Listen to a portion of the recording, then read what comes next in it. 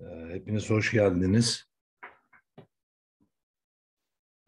İkinci e, Uluslararası Dil ve İnsan Sempozyumu'nun bugün herhalde son oturum günü. Son oturumunu birlikte paylaşmaya çalışacağız. Bir teknik problemden dolayı e, ben yanlış oturuma katılmışım. Ondan dolayı bir düzenleme yaptık. E, biraz gecikmemiz de bu sebeple oldu. Bunun için özür diliyorum. Bütün arkadaşlar beni duyabiliyorsunuz değil mi?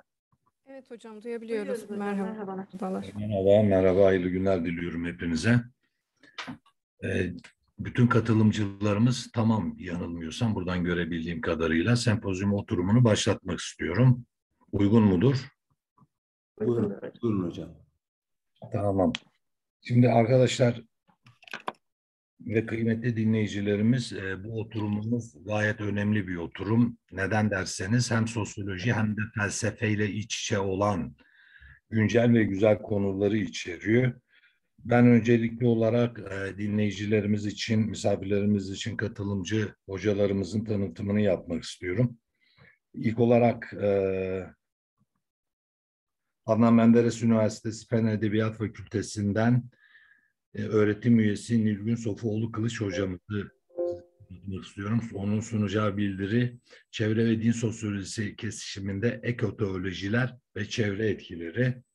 İkinci hocamız Nuri Bulut hocamız İstanbul Üniversitesi İlahiyat Fakültesinden katılıyorlar. Nurgül Bulut hocam. Özür dilerim. Özür dilerim. Yani Estağfurullah. Şey oldu. İnanç eylem ilişkisinde zorunluluk meselesi ahlakı askıya almanın imkanı başlıklı bildiriyi bize sunacaklar. Üçüncü olarak da Çanakkale 18 Mart Üniversitesi İlahiyat Fakültesinden e, Ubeydullah İşler hocamız Türk din musikisinde ahlaki değerlerin aktarımı bestelenmiş Yunus Emre ilahileri çerçevesinde bir inceleme başlıklı konuşmalarını sunacaklar. Konuşma e, şu açıdan da oldukça önemli. Hepimiz biliyoruz ki bu yıl Yunus Emre bir anma ve kutlama yılı. Onun duygu, düşünce ve söylemlerinin sosyalleştirilebilmesi, toplum tarafından içselleştirilebilmesi açısından da önemli bir yıl. Bu açıdan baktığımızda da hocamızın bildirisi oldukça önemli bir yer edinecek. E son olarak da Havva Sümeyra Altınsoy hocamız Necmettin Erbakan Üniversitesi Ahmet Keleşoğlu İlahiyat Fakültesinden katılım sağlıyorlar. Kendileri de insan yaşamı bağlamında ahlaki değerlerin göreceliliği veya evrenselliği problemi üzerine e, bize konuşma yapacaklar. Bildirilerini bu başlık altında sunmaya çalışacaklar. Ben tekrar e, sizlere hoş geldiniz diyorum. E, söz hakkı verme ile ilgili uygun görürseniz birinci sıradan itibaren gidelim diyorum. Ne dersiniz arkadaşlar? Her bir hocamız her bir hocamıza da 15 dakika bir süre verelim. Soru alacak olursak, sorular gelecek olursa da sorularımızı oturumdan sonra dinleyicilerimiz diledikleri hocalarımıza sorularını yöneltebilirler. Evet, şimdi ilk olarak doktor öğretim üyesi Nilgün Sofuoğlu Kılıç hocamıza sözü vermek istiyorum. Hocam buyurun. Herkese öncelikle e, saygı ve selamlarımı sunuyorum. Bu sempozyumun organizasyonunda görev alan e, bütün e, hocalarımıza, kardeşlerimize teşekkür ediyoruz. Benim tebliğimin konusu çevre ve din sosyolojisi kesişiminden ekoteolojiler ve çevre etikleri. E, bu bağlamda aslında hem çevre sosyolojisi hem de din sosyolojisini bir araya getiren bir e, perspektifle bu konudaki tartışmalara bir e, bakış sunmaya çalışıyorum. E, çevre sosyolojisinin ortaya çıkışı e, çevre sorunlarının e, tezahüründen e, sonra meydana geliyor. E, çevre sorunlarının e, küreselleşmesi ise e, bu disiplinin biraz daha güçlü bir e, tartışma zemini haline gelmesine yol açıyor. Din sosyolojisi ise bildiğimiz üzere din toplum ilişkisi bağlamındaki e, hareketleri, değişimleri, e, görüşleri, toplumsal olgu ve olayları inceleyen bir e, disiplin. Dolayısıyla bu iki disiplinin kesişimi yani çevre sosyolojisi ile din sosyolojisinin kesiştiği nokta e, dinsel çevre hareketleri e, olarak büyük ölçüde somutlaşıyor. E, bu bağlamda e, konunun genelde literatürde ele alınışı, ilahiyat e, alanındaki ele alınışı genel itibariyle e, işte Kur'an'daki ve sünnetteki, hadisteki ve tabii ki gelenekteki e, doğaya ilişkin, doğanın korunmasına, doğaya duyulması gereken saygıya ilişkin emir ve yasaklar ve değerlerle ve bu bağlamda ortaya çıkartılan etikle, ahlaki ilkelerle ilgili oluyor genel itibariyle. Çevre sosyolojisinde ise e, daha genel bir perspektifle e, çevre sorunlarının insan ve toplum bağlamlı olarak nasıl ortaya çıktığına ilişkin ve bu hareketlerin işte temellerine, iddialarına ilişkin bir takım yaklaşımları ortaya koyuyorlar. E, ve bu dinsel çevre hareketleri işte tam da bu noktada, tam bu iki disiplinin kesişim noktasında e, bulunmuş oluyor. E, bu tartışmaların literatürde e, vardığı noktalardan birisi İbrahimi dinlerin genelde e, insan merkezli bir perspektife sahip olması nedeniyle bu bağlamda e, ciddi bir eleştiriye tabi tutulması e, şeklinde karşımıza çıkıyor. Dolayısıyla bu da yine bizim e, bu tebliğde değineceğimiz başlıklardan birisi olacak. E, şimdi çevre sosyolojisinin e, pardon, çevre sorunlarının ortaya çıkması sanayi devriminden sonra büyük ölçüde Tabii ki daha önce insanın doğaya müdahalelerinin başlamasıyla, tarım toplumunun ortaya çıkmasıyla bu süreç içerisinde elbette ki doğanın belli şekillerde tahribi söz konusu. Fakat doğanın kendi kendini e, sağaltabilme, kendi kendini tedavi edebilme, e, yenileyebilme, tazeleyebilme e, özelliğinden dolayı henüz daha sanayi devrimine kadar büyük sorunlar ortaya çıkmış değil. Fakat sanayi devriminden sonra üretimle birlikte tüketimin de ciddi ölçüde pompalanmasıyla ve işte kapitalizmin ve daha sonra neoliberal politikaların doğanın tahribine daha doğrusu bir takım rant elde etmek, bir takım karlar elde etmek amacıyla doğanın tahribinin meşru gören, insanın ilerleyebilmesi için, gelişebilmesi için ve refahı için her türlü tahribi meşru gören bir e, perspektif e, ortaya çıkıyor. Dolayısıyla burada e, bu perspektifin de büyük ölçüde çevre kuramcıları tarafından eleştirildiklerini söyleyebiliriz. Burada kullandığımız kavramlardan birisi ekoteo, ekoteoloji kavramı. Aslında ekolojik teoloji kavramlarının birleşiminden üretilmiş olan bir kavram bu. Yani ekolojiye ilişkin, doğanın değerine ve korunmasına ilişkin dinlerin ürettikleri söylemlerle ve yarattıkları paradigmalarla ilgili olarak bunu ifade eden bir kavram olarak ekoteoloji kavramının üretildiğini e, söyleyebiliriz. E, bazı e, aslında din kaynaklı olmayıp aslında tamamen e, bir çevre hareketi olarak ortaya çıkan hareketlerin de zamanla bir dinsellik niteliği kazandığını ve birer ekotoloji e, ürettiklerini de yine görüyoruz. Buna e, şimdi e, iki örnek üzerinden e, konuş, e, tartışacağım. E, ekosofi diye bir kavram da var aynı zamanda ekoteoloji yanında. E, ekosofi de bir doğa bilgeliği ya da ekolojik bilgelik anlamına gelen bir kavram e, ekolojik felsefe ya da ekolojik bilgelik olarak da ifade ediliyor. İnsan ve çevre arasında inanç ve eylemlerle kurulu etik bir ilişkiyi ifade ediyor bu kavram. E, burada aslında daha çok ön plana çıkan doğaya bir kutsiyet atfedilmesinin söz konusu olması.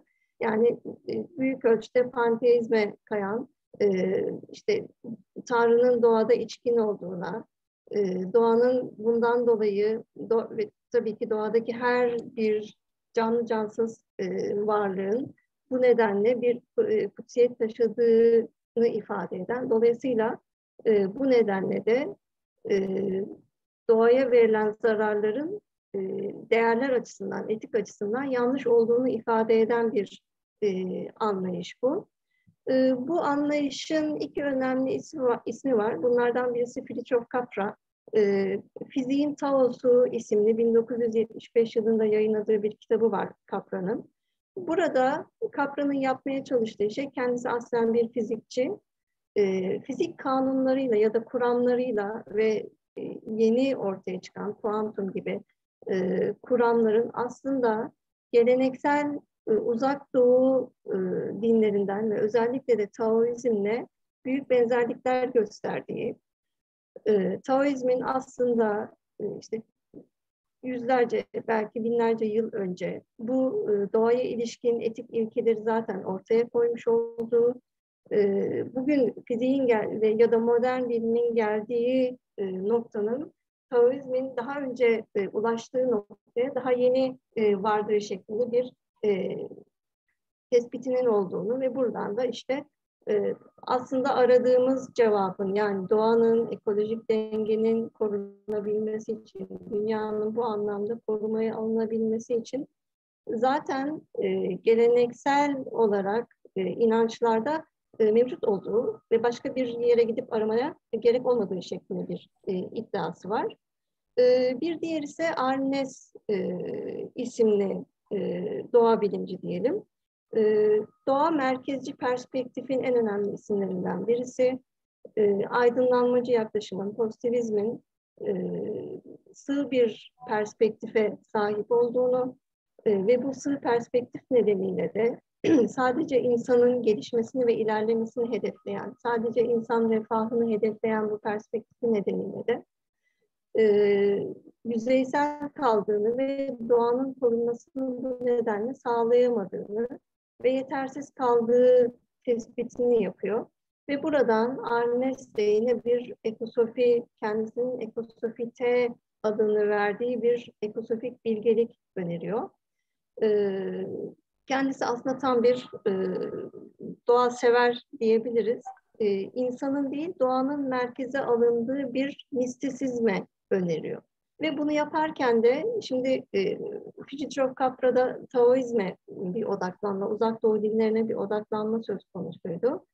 E, Arnes ise bunu yaparken e, aslında bütün dinlerin içerisinden böyle bir doğa bilgeliği, bir e, mistisizmin üretilmesi e, gerektiğini söylüyor. Ve ancak bu şekilde ekolojik dengenin e, işte gün ve gün ilerleyen sorunlara karşı korunmasının ancak bu şekilde sağlanabileceğini iddia ediyor.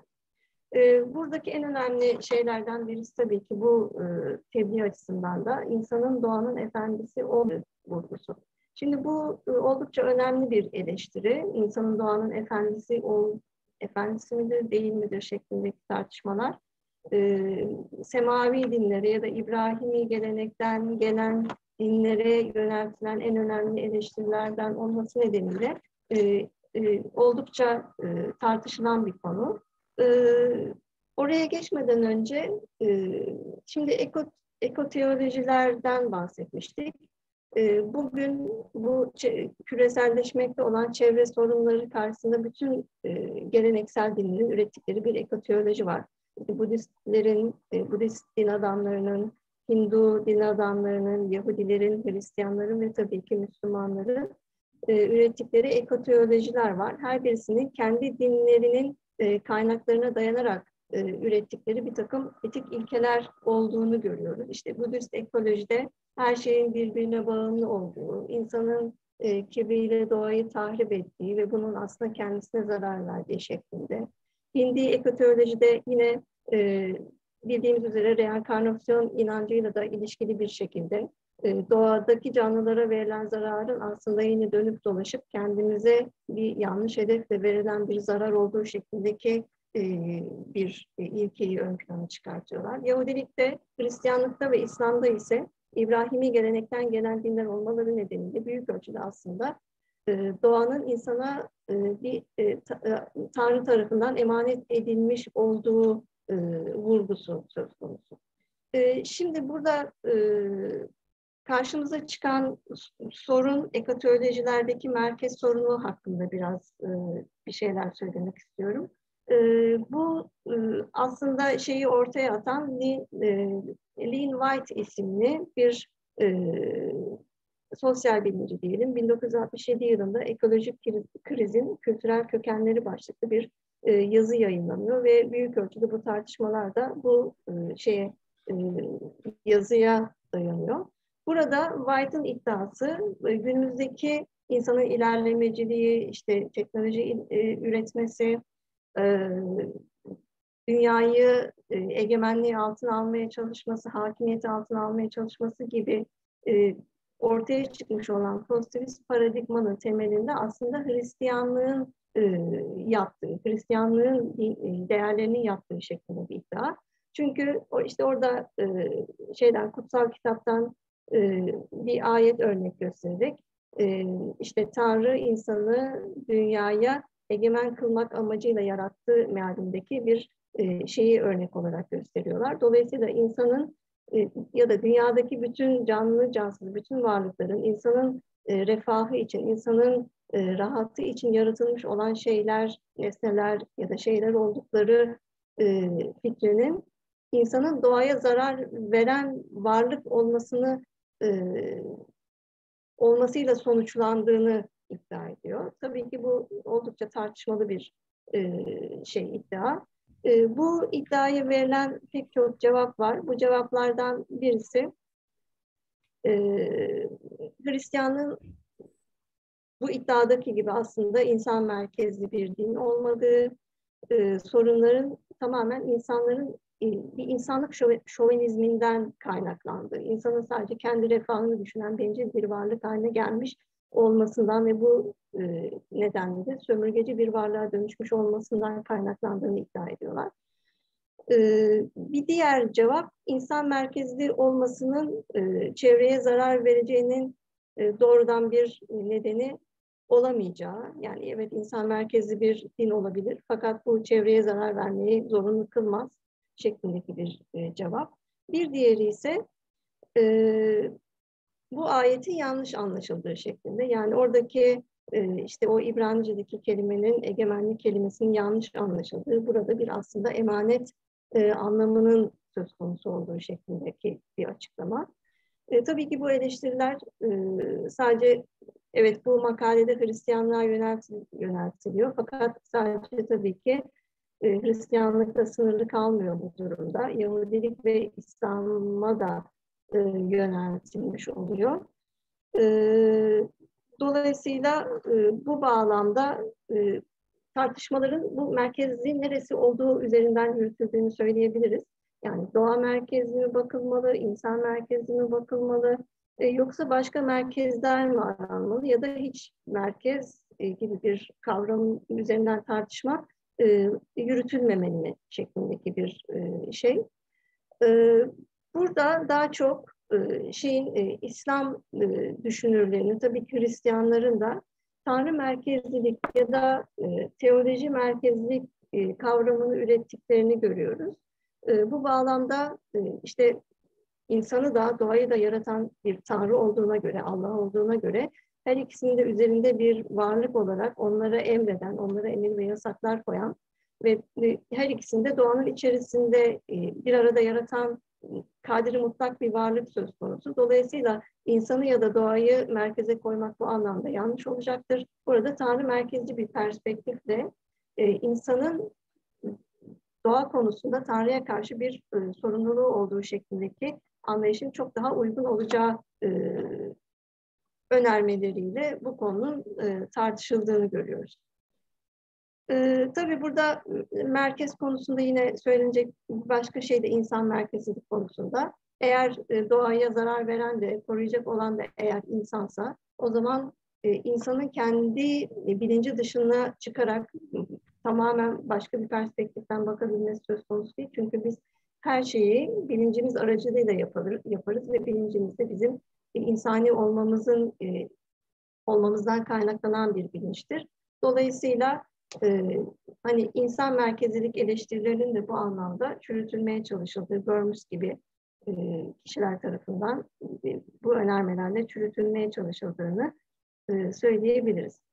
E, toparlayacak olursam e, çevre hareketlerinin e, bu anlamdaki e, işte insan çevre hareketleri de olsa e, din bağlamlı olmayan çevre hareketleri de olsa bu bağlamda eleştirilmelerini e, eleştirilmelerinin doğru olmadığını söyleyebiliriz. Çünkü e, çevre hareketlerinin merkezinden ziyade aslında çevre sorunları karşısında ürettikleri söylemler, e, işte siyasi mekanizmalar üzerinde yarattıkları baskılar ve kamuoyunda oluşturdukları e, bilincin çok daha önemli olduğunu ben düşünüyorum. E, dolayısıyla e, bu kamuoyu gücünün yaratılması e, bu anlamda çevre hareketleri açısından oldukça önemli.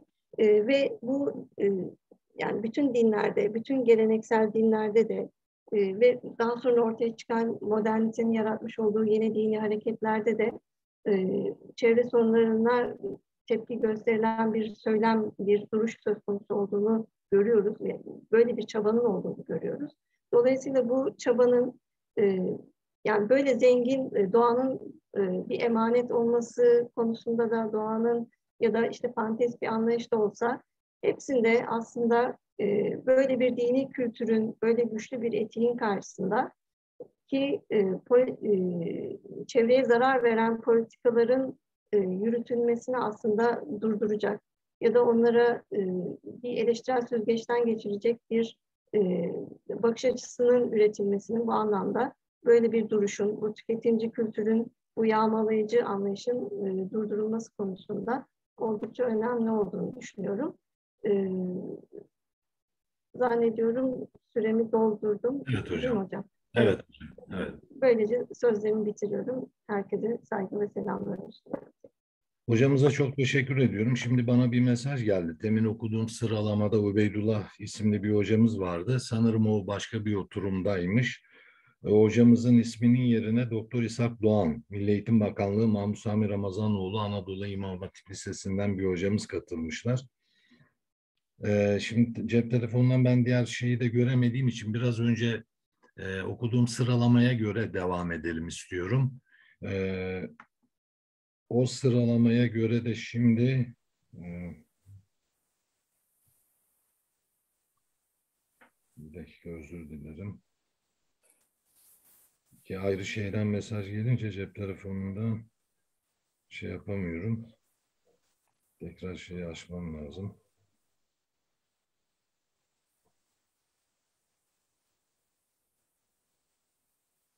Şimdi de eee Nurgül Bulut hocamız inanç eylem ilişkisinde zorunluluk meselesi, ahlaki as ahlaka askıya almanın imkanı başlıklı bildirisini sunacaklar. Şimdi hocamızı dinleyelim. Hocam buyurun. Ee, teşekkür ediyorum Halis Hocam. Ben de herkese e, selam ve hürmetlerimi iletiyorum. Ben müsaade ederseniz bir ekran paylaşımı yapmak istiyorum. Evet buyurun hocam.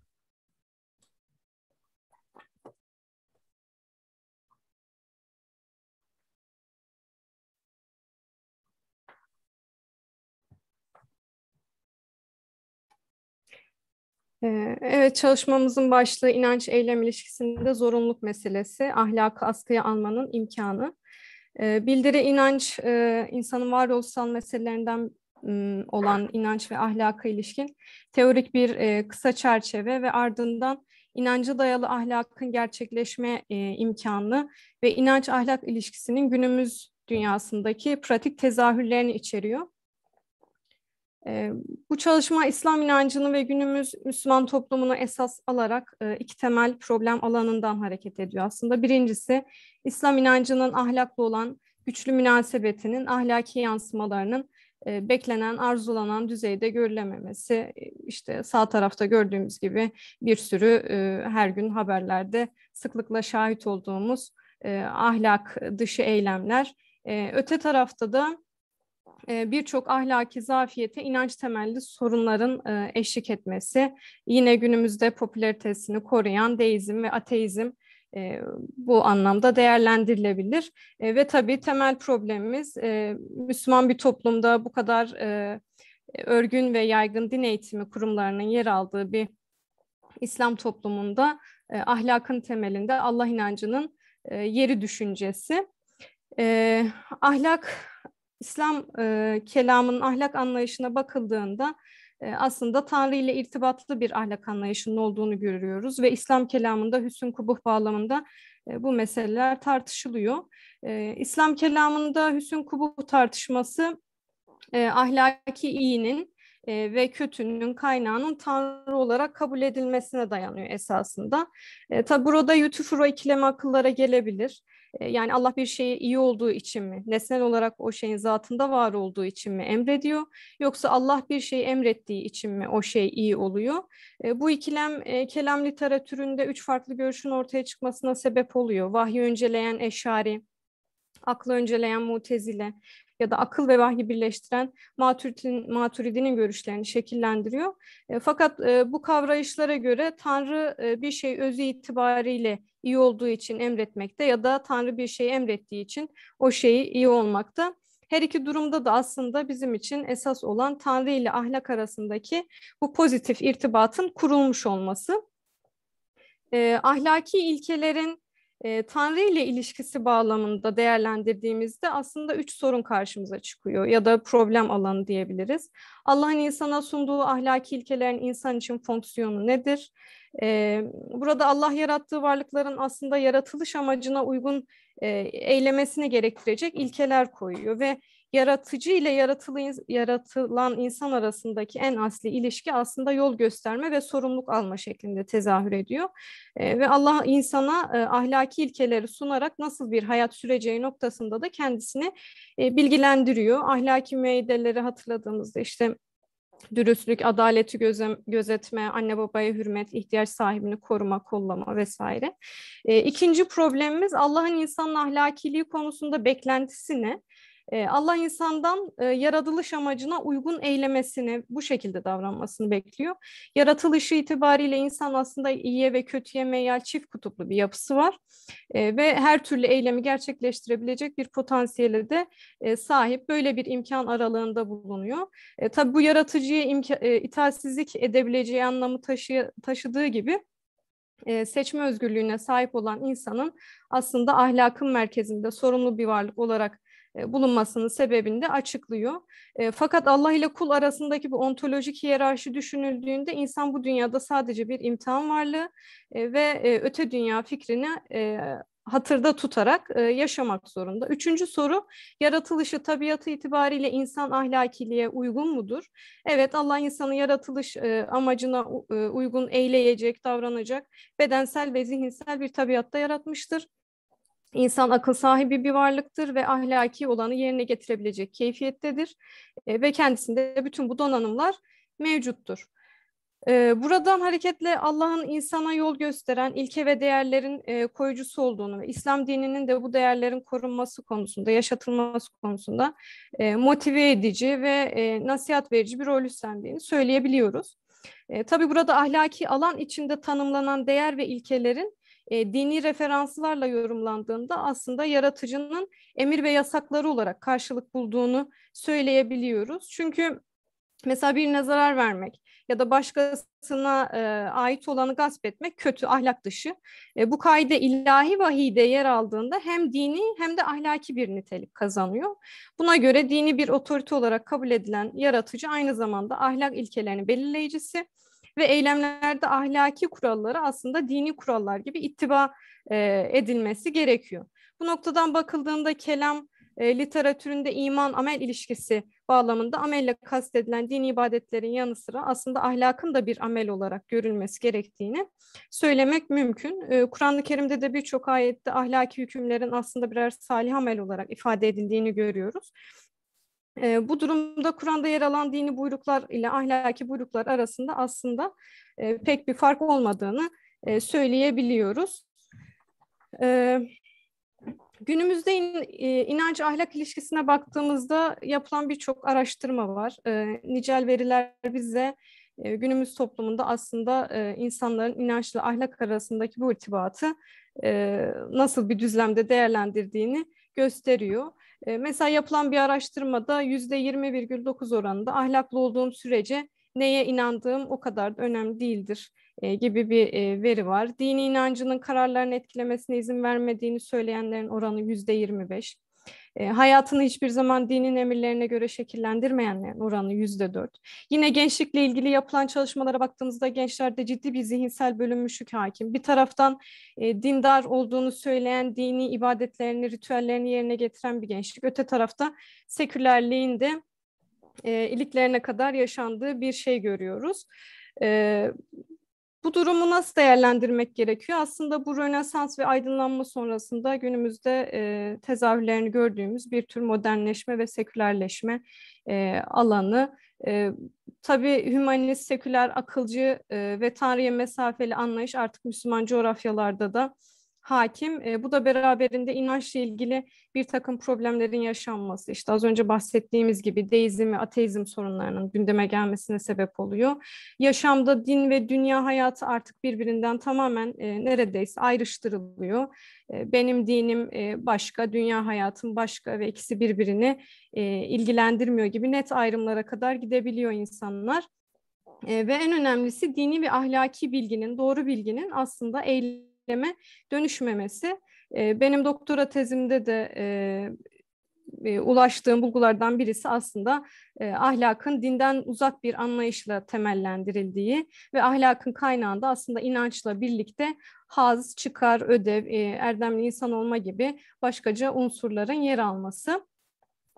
Ee, İslam ahlak düşüncesiyle meseleyi ele aldığımızda inanç ile ahlak arasında birbirini besleyen, pekiştiren güçlü ve pozitif bir ilişkiden söz edebiliyoruz ve e, bir teorik bir çerçeve çizebiliyoruz. Fakat asıl tartışma sorusu şu, pratikte bu irtibatın e, bir retorik mi yoksa hakikat mi olduğu. Ee, bunun günümüz dünyasındaki tezahürlerini görebilmek maksadıyla 42 kişiyle 25-35 yaş arası e, farklı eğitim düzeyinden, çeşitli e, meslek gruplarından ve e, farklı sosyokültürel seviyelerden 42 genç yetişkinle mülakatlar gerçekleştirdik. E, bulgulara bakıldığında katılımcıların inançla ahlak arasındaki pozitif ilişkinin varlığına, kişinin bildiği ve inandığı gibi e, yaşamasının gerekliliğine ilişkin düşünceleri aslında çok net.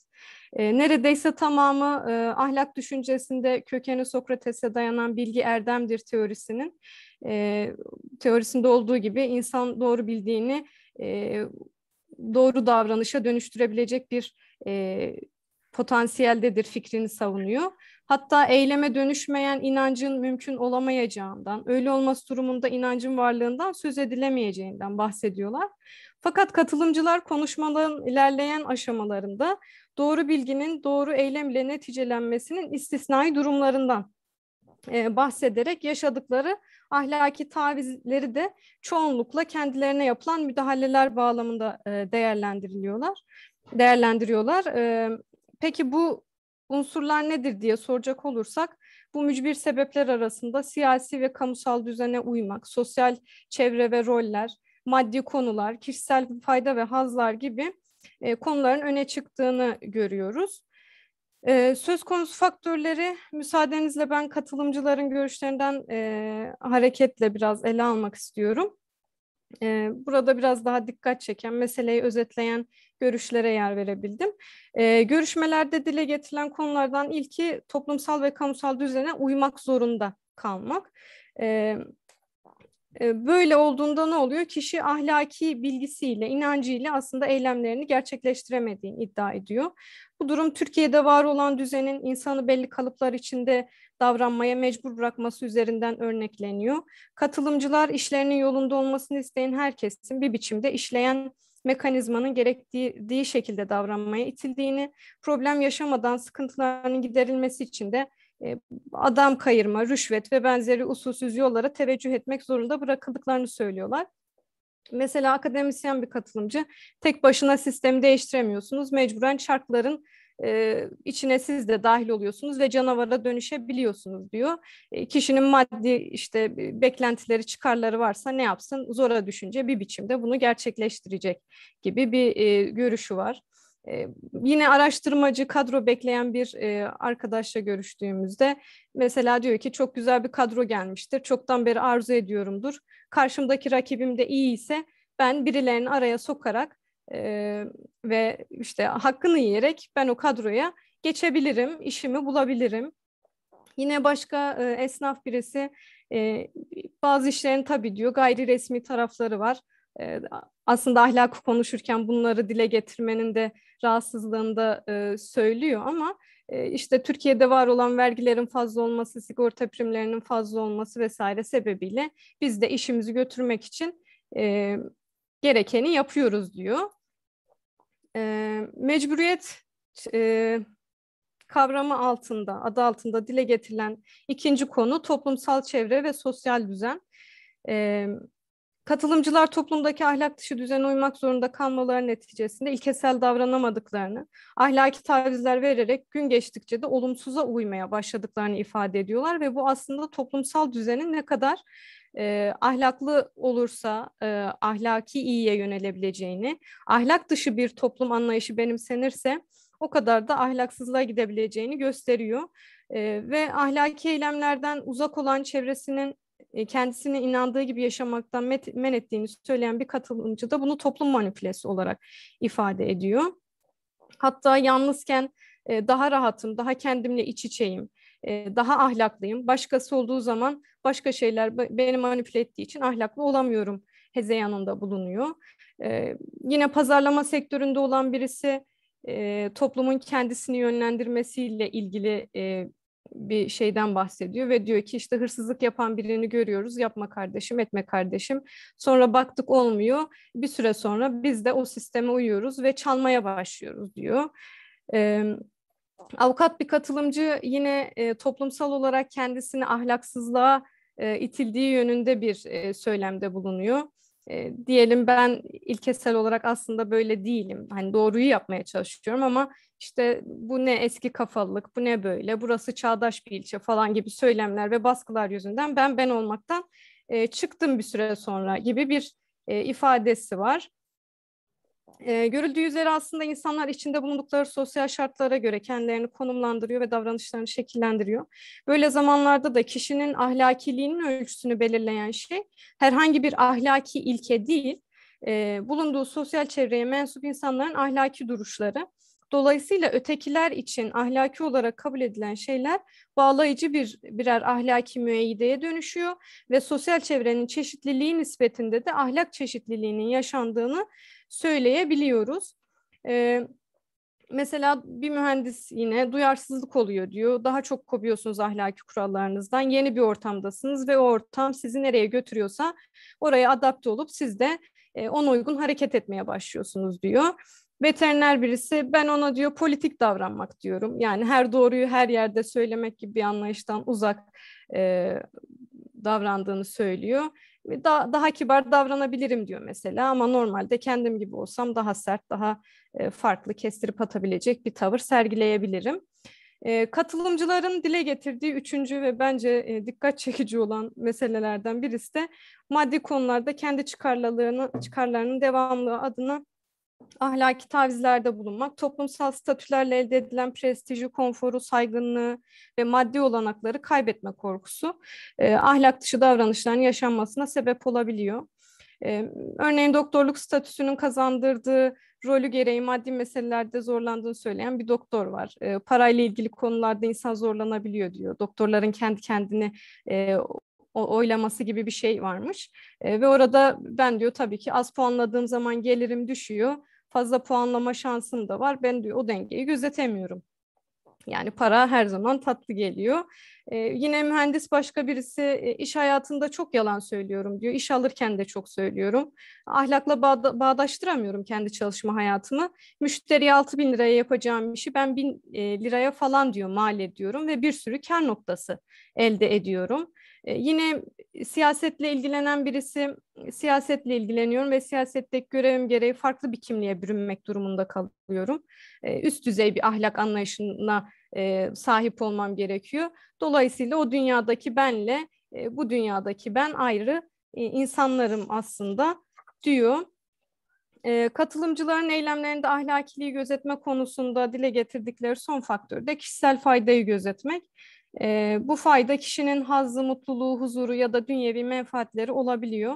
E, başlık altında insanın bencilliği sebebiyle çoğunlukla e, içinde bulunduğu şartları menfaati doğrultusunda kendi lehine organize etmeye çalışmasına şahit oluyoruz. E, mesela zorunluluklar buna sebep oluyor diyor. Bir Bitlis'te bir akademisyen e, köpekleri besliyordum. Dekan beni azarlıyor bundan dolayı fırça yiyorum. E, işimle tehdit ediyor. Ben de dolayısıyla başkaca şeylere yöneliyorum e, ve doğru bildiğimi artık yapmaktan vazgeçiyorum diyor.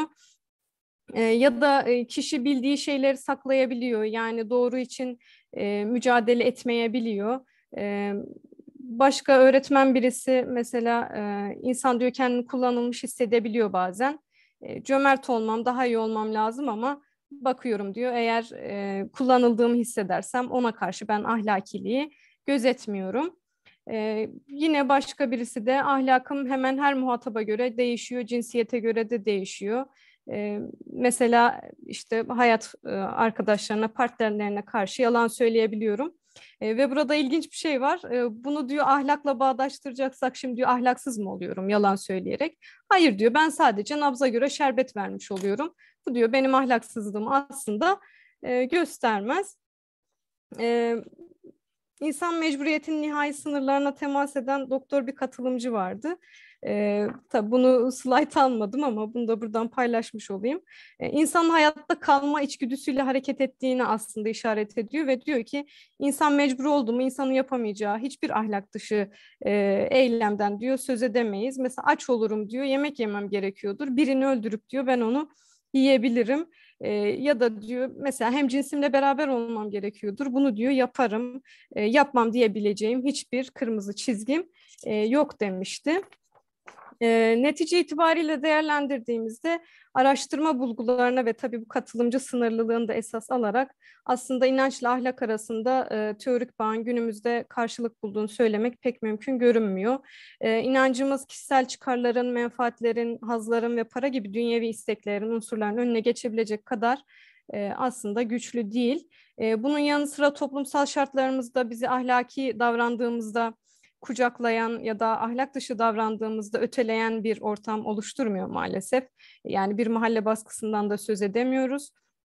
Tabii burada iki hususu dikkate almak gerekiyor. Birincisi modernleşmenin ve sekülerleşmenin kıskacındaki insan için e, günümüz e, insanının, Müslüman insanının dini ilkelerle hareket etmesinin güçlüğü. İkincisi de insanın disharmonik yapısı, iyiye kötüye meyyal oluşu. Bunu e, dini terminolojiyle ifade edeceksek nefse uymak ya da işte şeytana uymak şeklinde ifade edebiliyoruz. E, peki böyle bir ortamda ne yapılması gerekir diye soracak olursak öncelikle Allah inancının e, ve vahyin ahlaki bilgiye kaynaklık ettiği fikrinin içselleştirilmesi gerekiyor. Başka bir ifadeyle yaratıcı ile insan arasındaki ontolojik ve epistemolojik bağın sahip biçimde kurulması gerektiğini söyleyebiliriz. E, ve ardından da tikeli göz ardı eden tümel kavrayışlar yerine e, otoriteden uzak ve içsel öznel ahlakın e, ihsas edilmesini sıralayabiliriz.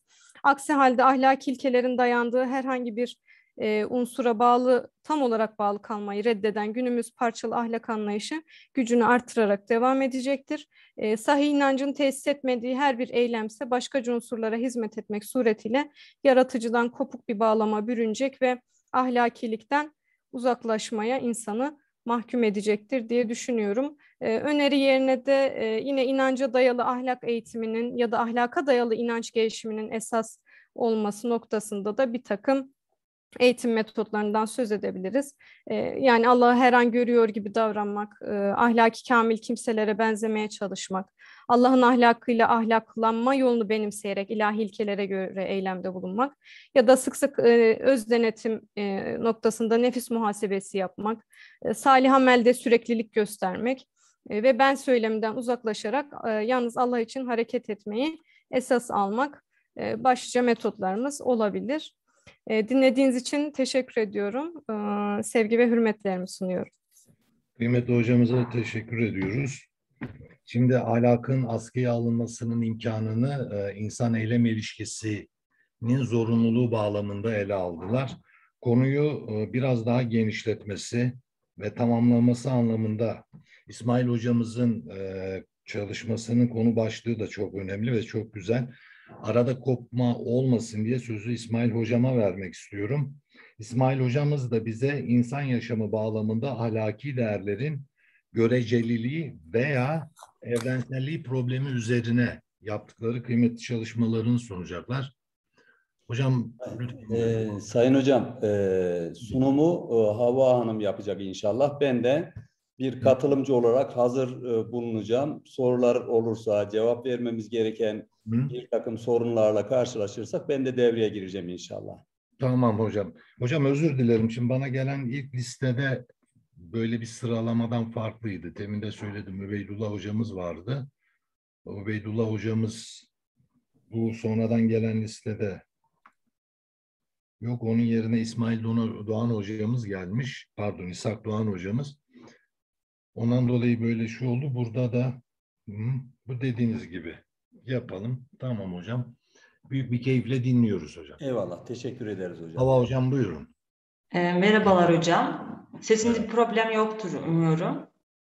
Yok, gayet güzel net geliyor sesiniz. E, tamamdır. Hocam bahsettiğiniz gibi bugün biraz ahlaki değerlerin görecelik ve evrenselliği sorunu üzerinde duracağım. Ve aslında soracağım ilk soru da e, neden yani biz ahlakın göreceliği veya ahlaktan önce aslında neden evrensellik veya görecelilik diye bir problemimiz var ve e, bunu neden ahlakla ilişkilendiriyoruz? Yani aslında e, ahlakın şöyle biraz da amiyane tabire söyleyeceğim kusura bakmayın ama hani ahlakın ne zoru var da biz onu evrensel yani neden evrensel olsun ahlak aslında? Bu soruyu sormak gerektiğini düşünüyorum en başta. Ve hani çok uzun zamandır da başına almış gide, almış gide, al, alıp giden bir tartışma var. İşte e, evrensellik, tarihsellik, evrensellik, görecelilik problemi var. Biz hakikaten neden bunu tartışıyoruz? Belki bunu konuşmada onun üzerine yaptığımız bütün konuşmalar zahit kalacaktır. Bu temelde bunu eleştirmek ve bunu tartışmak gerektiği kanaatindeyim. Ee, bize böyle bir e, soruyu sordurtanın e, mesela yani ahlakın ahlakın evrensel olması gibi böyle bir şeyi kurduranın aslında insan aklının olabileceği kanaatindeyim. Yani insan aklı bazı şeyleri kurala bağlayıp bir şekilde rahat etmek istiyor. Ya bu insanın belki de e, akıl yapısının gereği olarak bağlayıp kenara koyup paketlenmiş şeker gibi böyle böyle e, tek tek bizim ilkeler edinmemiz belki akıl bize telkin ediyor. Ama aklın böyle e, yapmasının da bize ima ettiği bir şey var. O da şu, biz demek ki çevremizde, doğada değişmeyen bazı şeyler görüyoruz ki değişen veya değişmeyen gibi böyle bir e, ikilemli bir gerilimle karşı karşıya kalıyoruz. İşte örneğin fizik yasaları, doğa yasaları, işte güneşin sürekliliği gibi şeyler değişmeyen, sabit şeyler ve artık biz bunu e, bunu bağladıktan sonra tekrar dönüp dönüp bakmıyoruz. Bunlar evrensel midir, göreceli midir diye. Bunlar evrensel, tümel yasalardır. Ama acaba ahlak yasaları bu tarz bir kurala bağlanıp e, bunların kesin olarak e, evrensel veya tümelliğine söz etmek mümkün mü? Mesela bir, e, bir yiyeceği ele alalım. Biz insan yaşamında bu yiyeceği tecrübe ettik ve tecrübelerimiz neticesinde bu yiyeceğin zararlı olduğuna karar verdik. Biz bu kararı verdikten sonra artık bu yiyecek zararlıdır ve biz buna tekrar hani insan bunu tecrübe ettiği için dönüp dönüp acaba bu zararlı mıydı, yararlı mıydı gibi bir ikilem içerisinde kalmayız. Bu artık zararlıdır, belli olmuştur. Ama diyelim ki e, tarihsel süre içerisinde insan bu bitkiyi alıp, e, bu yiyeceği alıp kullanıyor bir şekilde. Farklı bir e, ilacın e, ilaç, ilacı farklı oranlarda katarak bunu bir e, ilaç ilaca dönüştürüyor. Sağlık tıp için insana yararlı bir hale getiriyor. Peki burada biz bu yiyecek için yararlı veya zararlı anlamda ne söyleyebiliriz? Burada da aslında bunun bağlamı değişmiş oluyor. İlk bahsettiğimiz yiyecek kategorisinde ele alınması gereken bir hususken ikincisini tıpla, işte kimya ile vesaire ilişkilendirip ele almamız gerekiyor. Yani bu anlamda ben ne demek istiyorum? Demek istediğim şey şu.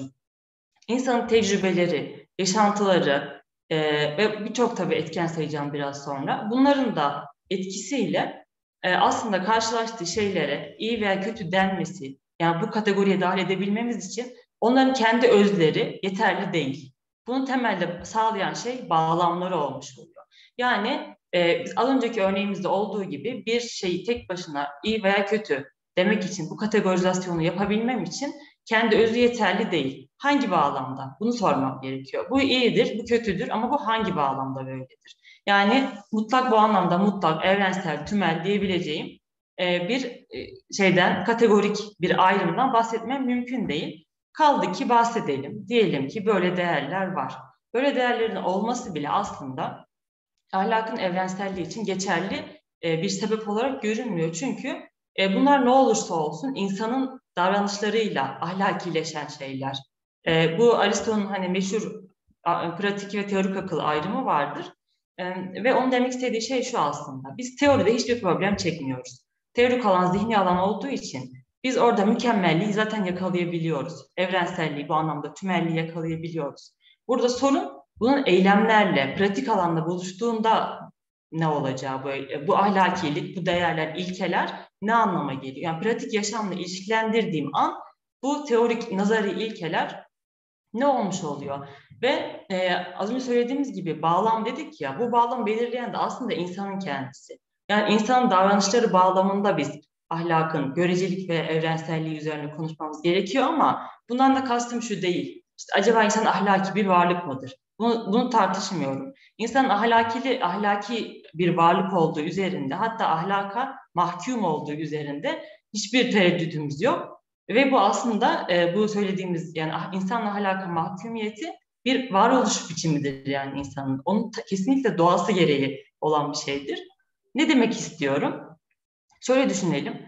E, insanın e, bir müddet daha geç doğmuş olsaydı e, hayvan, mükemmel bir hayvan olacağı şeklinde bir bilgimiz var. Yani insan bir müddet daha anne karnında kalmış olsaydı kesinlikle onda merkezi kilitlenme gerçekleşmiş olacak ve o tamamıyla bir hayvan olmuş olacaktı. Ya bu anlamda bakacak olursak insan eksik çıkıyor. İnsanın hayvanlık bakımından eksik olması aslında onu insan veya işte akıllı dediğimiz e, varlık olarak kılıyor ve onu ahlaki varlık kılan e, e, ayırt edici özelliğinde bu olduğunu söyleyebiliriz. Yani e, hani hep şöyle bir şey söylenir ya, insan melekle inek arasındadır falan gibi. Aslında bunu bize demek istediği anlam şu. İnsan ne determinist, tamamen determinist bir varlıktır, ne de içgüdüleriyle, tamamen içgüdülerine bağımlı, güdülerle hareket eden bir varlıktır. Çünkü güdüler de aslında bir belirlenmişliktir. Yani siz hiçbir hayvanın işte yiyeceği otu şaşırdığını görmezsiniz. Bir otu yedi diye öldüğünü, zehirlendiğini görmezsiniz. Onların da aslında yaşamları e, belirlenmişlikler içerisinde, belli kurallar içerisinde kalan bir yaşamdır. Bu anlamda insanın aslında, e, yani daha doğrusu şöyle söyleyeyim, hayvanlar e, insanlardan, hayvan olmak bakımından daha mükemmeldir, daha üstündür bile diyebiliriz bu anlamda. Ama bizim şu anki tartışmamın konumuz bu değil. Onu söylemek için buraya, konuya girdim. Yani biz burada insanın acaba ahlaki midir, ahlaki olmalı mıdır bunu tartışmıyorum. İnsanın ahlaki bir varlık olduğu, olması, onun doğası ve bizzat yapısı, yaşama tutunma biçimi olarak insan ahlakidir. Bunda herhangi bir şüphe yok. Ve biz burada ahlakın evrenselliği derken de bunu kastetmiyoruz. Yani acaba bütün insanlar ahlaklı mıdır? Evrensellikten kastımın bu olmadığını söylemek istiyorum özellikle. Ve e, bu konuya da biraz girmişken e, insanın akıllı bir hayvan olduğundan bahsettik. Bu işte hayvanlı kısmını güdülere verdik. Akıl kısmını da belki burada insanın kendisi için yeni yeni doğalar ürettiği kültür alanına verebiliriz. Ve insan yaşamını, bu pratiklerini belirleyen şeylerin aslında bu hem güdüleri hem aklı hem kendisinin yarattığı tercihler. Yani insan karşısına bir şeyin karşısına bir nesnenin bir olayın karşısına geçip elimde iki tane seçenek varmış. Bununla yetineyim diyecek bir varlık değil. O kendisi yeni yeni seçenekler üretebilen ve yaratabilen bir varlık. Yani bu nedenle biz herhangi bir değeri düşündüğümüz zaman biz bu değeri e, tümel olarak hani düşünsek bile insanla buluştuğu an ve belki burada e, Farabi'nin de mesela bir ayrımı var. Buna da değinmek gerekiyor. E, o nazari alanla fikri alan diye ayrı bir kategori bize söylüyor. Nazari olan bildiğimiz işte tümel, evrensel, zihni diyebileceğimiz alan ve bunu maddeye dönüştüğü anda e, görece olarak diyelim eksildiğini ifade ediyoruz. Bu eksilti nedeniyle buna fikri alan ismini veriyor. Yani aslında demek istediğim şey şu, insan e, hem akıl hem hayvanlık arasında gerilen, gerilimleri yaşayan ama bunların yanında kendisi de bir şeyler yaratan, farklı doğalar üretebilen bir varlık ve bu anlamda kendi ahlakiliği de insanın e, ahlakileşmesi de insan eylemleriyle ilişkileniyor. E, ve e, şunu da burada e, vurgulamak istiyorum. Bunu tarihsel olarak geriye götürecek olur. Yani şunu da söyleyelim. İnsan kesinlikle tarihsel bir varlık. Tarihsel bir varlık olduğunu biz geçmişe bakarak çok rahat bulabiliriz. Şimdi az önce bahsettiğimiz bağlamları kendisi yaratan, üreten bir varlığın zaten yani abes olur artık bunun evrensel ahlakın evrensel olacağını söylemek, bu bağlamları yaratan, bu göreceliliği yaratanın bizzat insan olduğunu söyledikten sonra bu artık hani dediğimiz gibi bunu söyleme bile gerek yoktur. Ee, ve bu evrensellik sorunu aslında bir anlamda da tümeller sorunu. E, ve bu tümeller sorunun e, belki ilk hani bağlamına götürmek gerekirse ki böyle olduğu takdirde daha anlaşılır bir hale geleceğini düşünüyorum. E, ilk e, tartışmalar, insan üzerine tartışmaların sofistlere kadar gittiğini biliyoruz hani bugünkü anlamda sofistlere relativist diyemesek bile hani buna yakın insanın her şeyin ölçütü olduğu gibi ve hani öznellik çerçevesinde anlayışları olduğunu söyleyebiliriz ve aslında Platon'un bir mektubunda şöyle bir ifadesi var. E, ben diyor her şeyin bu kadar e, değiştiğini, kaydığını gördüğüm zaman diyor bir sersemliğe uğradım.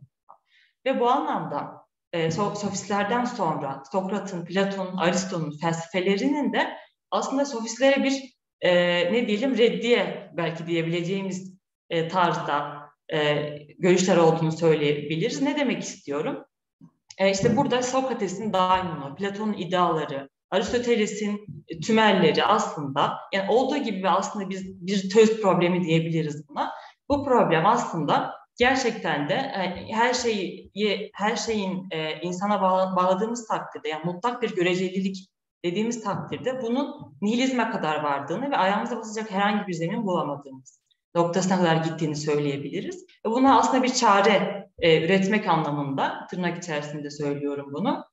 E, işte onlar sofistlerden sonraki filozofların bu çırpınışlarla diyelim e, bir e, tümel problemini getirdiğini karşımıza görüyoruz. Aslında bunların hepsinin temelinde insan, bilgi felsefesi bağlamında insan neyi bilebilir? bilginin imkanı sorunu vardır. Ve e, böyle baktığımız takdirde e, bütün aslında antik çağ felsefesinin ve hatta bugün bizim işte çok çok büyük filozoflar olarak, e, otoriter olarak yer verdiğimiz filozofların hepsinin arka planında, zemininde sofistlerin olduğunu ve bu sofistlerin e, bu nazari teoriken, teknik felsefede çok çok büyük emekleri olduğunu ve onların bu kişilerin gölgelerinde kaldığını bile söyleyebiliriz. E, ve bizim Sokrates'in, Platon'un yapmaya çalıştığı şey aslında e, bireysel olarak öznel bir insanın dışında acaba nesnel bir değer yaratabilir miyiz? Yaratmazsak çünkü bu nihilizme kadar gidiyor. Böyle bir e, endişeyle aslında yaklaştıklarını görüyoruz ve mesela bunu Platon'un idealizminde görebiliriz. Ve zaten idealist felsefe hani biz ne kadar idealarda veya zihinde o mükemmelliği yaratırsanız yaratın bunu aşağı indiği takdirde bu eksik olacaktır. Zaten e, Aristoteles'in de Platon'a yaptığı en büyük eleştiri iddialar dünyasıyla maddi alem arasında bir ilişki kuramamasıydı. Peki burada Aristoteles ne yapmış oldu diyecek olursa aslında Aristoteles hocasının e, bu iki alan arasındaki ilişkiyi hem bilgi hem ahlak, siyaset birçok şey için bunu kullanabiliriz. E, boş varlık anlamında da tabii ki. Boş bıraktığı noktayı acaba Aristoteles nasıl tamamlamıştı? bu soruyu yanıtlamak, tamamlamaya çalışmıştı diyebiliriz belki. Çünkü onda da mutlak anlamda bir evrensellikten ahlak için söz etmemiz mümkün görünüyor. O Aristoteles, e, mesela onun önce fizik anlayışına bir bakalım. Onun fizikte de tek teklerle ilgilendiğini biliyoruz. Çünkü onun temel felsefesi var olanla ilgilenmek. Fizikte tek teklerle, oluşlarla ilgilendi ve bunların ardındaki yasayı keşfetti. Ve böylelikle aslında fizik ilmi dediğimiz şeyden bahsedebilir hale geldik. Yani bizim bilimden söz edebilmemiz, bilgiden söz edebilmemiz tek teklerden çıkardığımız tümellerle, tümel ilkelerle bir şekilde mümkün. Acaba ahlak için bu tek tek insan davranışlarından, çünkü Aristoteles bunu çok, özellikle vurgular, insan eylemleri biriciktir diye. Bu tek tek insan eylemlerinden acaba bir ahlak, bir yasa, ilke çıkarabilir miyiz? Aristoteles bunun mümkün olmadığını kendisi de çok iyi bir şekilde biliyordu. Hocasının da, onun hocasının da bildiği gibi ama onlar dediğimiz gibi mutlak görecelikten e, sıyırmaya çalıştılar bir oranda ve Aristoteles bunu e, erdemleri, dört erdemi koyarak ve orta hal doktrinini aslında koyarak belirlemeye çalıştı. Yani diyor ki aslında bize Aristoteles, ben diyor tam olarak bu ahlak alanında kesin olarak şu doğrudur, şu yanlıştır diyemiyorum ama en azından doğru ve yanlış arasında bir orta hal diyebileceğim şeyden bahsedebiliyorum. Peki bu orta hal belirleyen şey nedir diye soracak olursak bunu tabii ki birçok e, e, etken sayabilirim. Bu işte toplumla alakalı, bireyin kendi yaşamıyla alakalı, birçok etken sayılabilir. İnsanın ürettiği bağlamlar ne, neyse, ne kadarsa, kültür, e, coğrafya, ne dersek diyelim, bunların hepsi aslında insanın kendi yarattığı bağlamla alakalı şeyler ve bu anlamda e, sofistlerin mutlak görecelik ve mutlak hani e, objektif bilginin diyelim imkansızlığına karşı e, diğer filozofların onların karşısında aslında e, gerçekten de biz insan dışında nesnel bir e, bilgi, ahlak, siyaset, varlık felsefesi yaratabilir miyiz aslında? Temel meselenin bu olduğunu söyleyebiliriz. Yani bunların hepsini e, söyledikten sonra e, sonuç olarak şunu ifade edebilirim. E, bu biz ne kadar e, evrensel olduğunu veya tümel diyelim daha doğrusu e, tümel bazı ilkelerden, değerlerden söz edersek edelim. Bunları da hani tabii ki yine bunlar da insan yaşamı doğrultusunda ortaya çıkmış şeyler. Yoksa, yoksa tek başına hani yukarıda ayrı bir değer diye bir şey söz konusu değil. Yine bunlar insan tecrübeleriyle, yaşantılarıyla ortaya çıkmış şeyler. Yani biz hayvanlar için değerlerden bahsetmiyoruz. İnsanın yarattığı şeyler olduğu için bunların hepsi insanda makes bulan şeyler bir şekilde.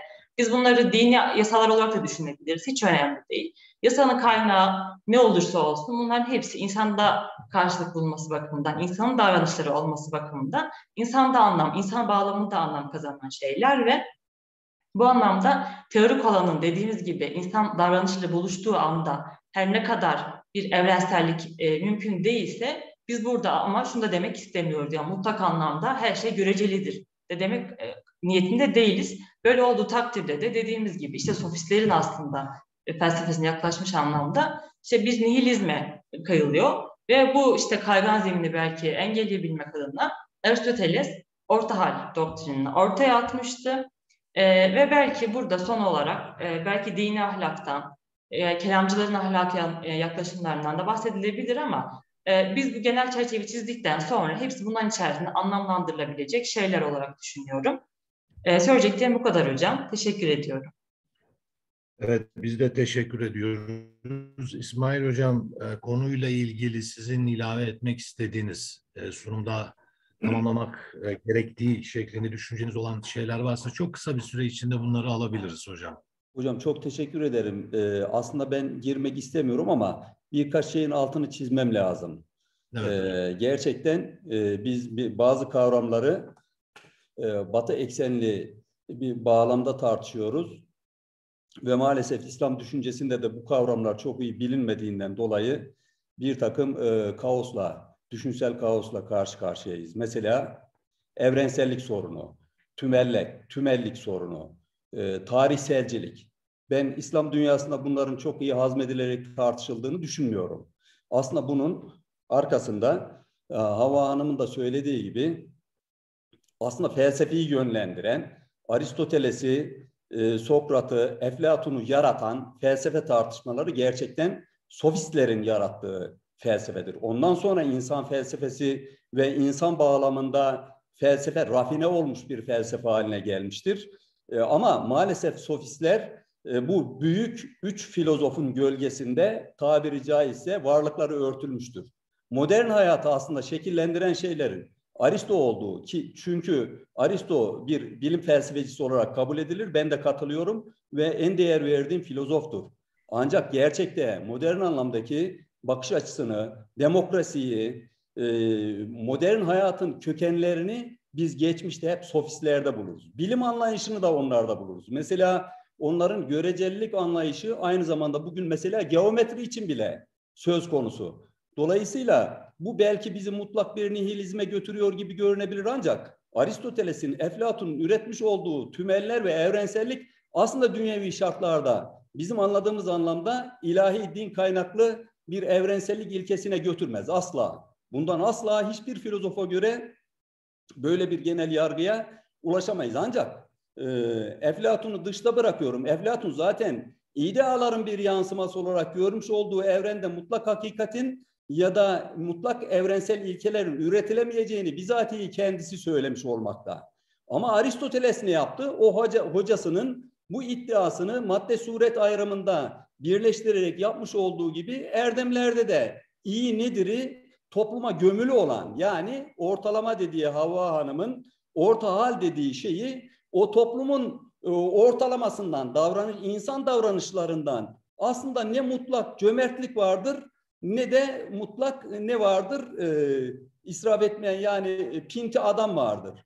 Bu ortalamasına göre biz ne yapacağız? Cömert insanı e, tespit edeceğiz. İsrafla e, pintilik arasında bir orta hal. Bu mutlak bir değer değildir. Hatta bu mutlak tümel olarak bizim ortaya koymuş olduğumuz şeyin tek tek insanlara yansıması bile çok farklıdır.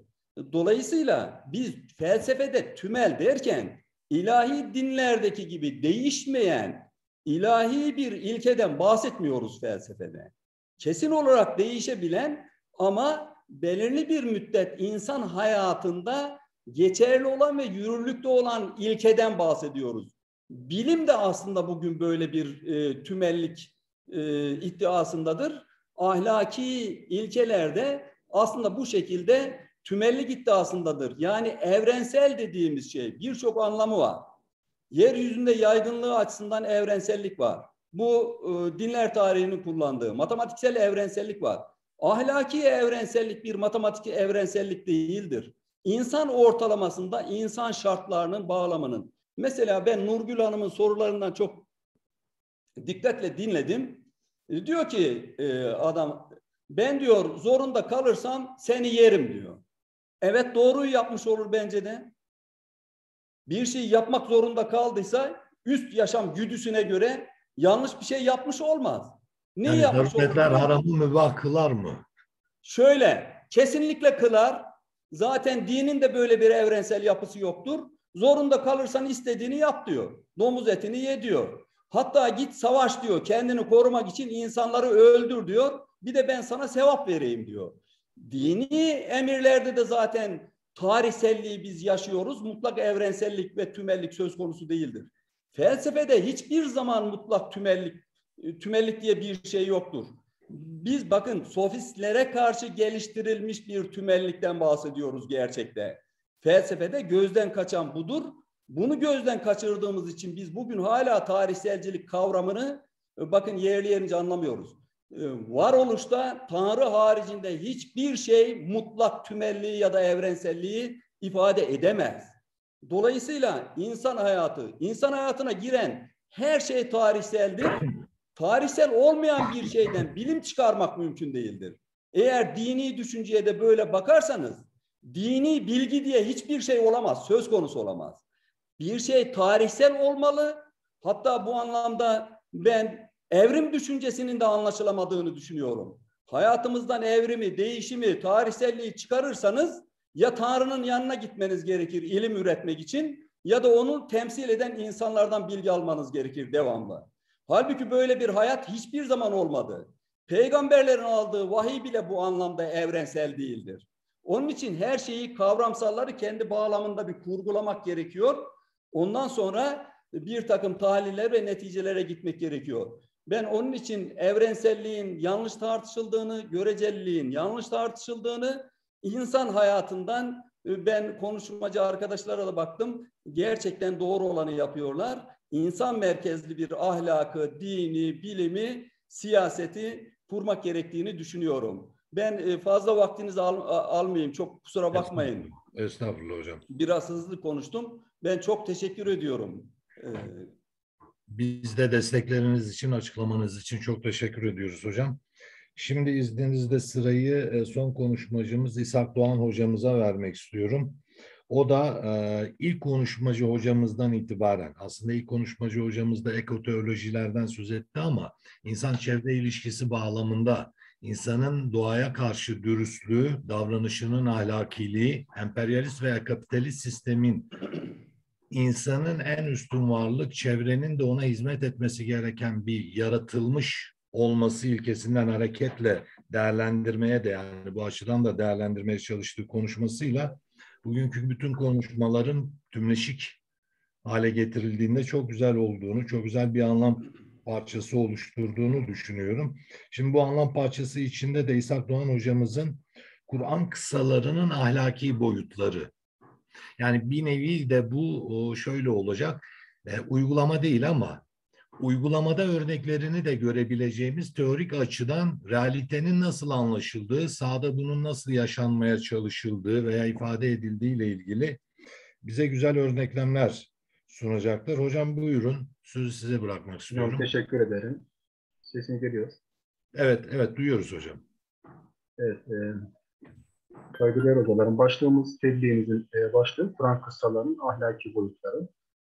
E, her din müntesipleri nazarında gerek ölüm öncesi, gerek ölüm sonrası ortaya koyduğu hak, adalet, huzur ve mutlulukla ya da bunu e, vaat etmesiyle aslında değer kazanır. E, bu anlamda din, ideal bir dünyaya adım atmak hem de bireysel anlamda kendini güvende hissedip tatmin olabileceği bir aidiyet anlamı taşır. Herhangi bir din ya da ideolojiye müntesip olan kimse o din ve ideolojinin vereceği ya da vaat etmiş olduğu ilkeler peşinde gider.